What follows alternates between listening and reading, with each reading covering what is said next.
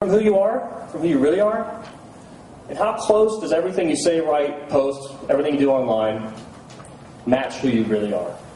It's really critical here because if it's not really you, it's going to be detectable because those bullshit meters are on 11. I'm sorry, censored.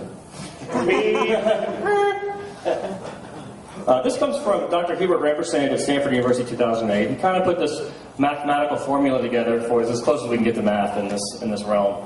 But uh, the, the key components of what builds your authentic personal brand vision, self knowledge, self learning, thinking, mindset. These things, you don't see vocal control, you don't see stage presence, you don't see nice suits.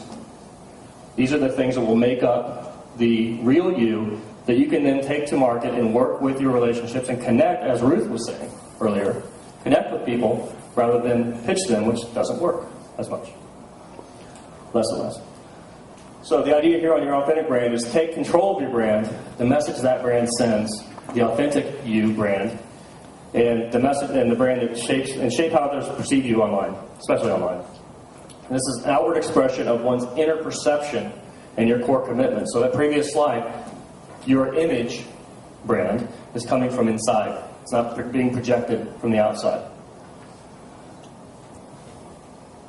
I call this brain haiku. I came up with this the other day. My, my daughter came up with her own haiku, and I'm like, hmm, haiku. And I was just working on this, and I thought, hmm, what would I do? What would my core commitments be in haiku version? And Mel added the nice Chinese characters. Does that actually mean haiku? No. It does. It does. it means haiku. I just Googled it. um, these, are the, these are just my, my own ideas around what's important to my personal brand. I say the things I mean, I mean the things I say, I care about my friends, I love my work life, I want to share it with people. Pretty simple. It's easier than building an image. Building an image is expensive and it's, it's hard. Authentic you is easy. So I would, I would recommend everybody in the audience assess your current brand. What are you now? What are your strengths, your weaknesses, your opportunities, your threats to who you are as a business and as an entity, as an individual? And does your brand need an overhaul or does it need repair? Charlie Sheen's needs an overhaul.